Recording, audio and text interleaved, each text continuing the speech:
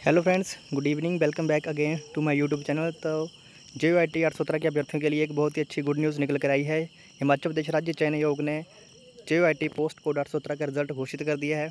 ये आप high court के सॉरी हिमाचल प्रदेश राज्य चयन आयोग की ऑफिशियल वेबसाइट के ऊपर जा सकते हैं। यहाँ पे final result for the post of J I T post code आठ सत्रह। तो यहाँ से जाके आप डाउनलोड कर सकते हैं। और यहाँ पे सभी कैंडिडेट्स के यहाँ पे पूरी के पूरी आपके जो है अठारह सौ बासठ पोस्टों के ऊपर जो रिज़ल्ट आया है। और इसमें यहाँ पे आप देख सकते हैं ये कैंडिडेट्स के नाम दिए हैं। आगे उनके जो डिपार्टमेंट है वो दिए गए हैं। तो आप यहाँ पर जाकर के अपना अपना डिपार्टमेंट यहाँ पे चेक कर सकते हैं। बाकी अगर डिपार्टमेंट वाइज कट ऑफ़ की बात करें तो यहाँ पे अब इसमें वो डिपार्टमेंट वाइज कट ऑफ़ नहीं दी है, लेकिन सभी का जो है यहाँ पे रिज़ल्ट आ चुका है। तो जो भी कैंडिडेट हैं, जो भी रिज़ल्ट का वेट कर रहे थे, काफ़ी टाइम से वो जाकर के अपना अपना रिज़ल्ट देख सकते हैं।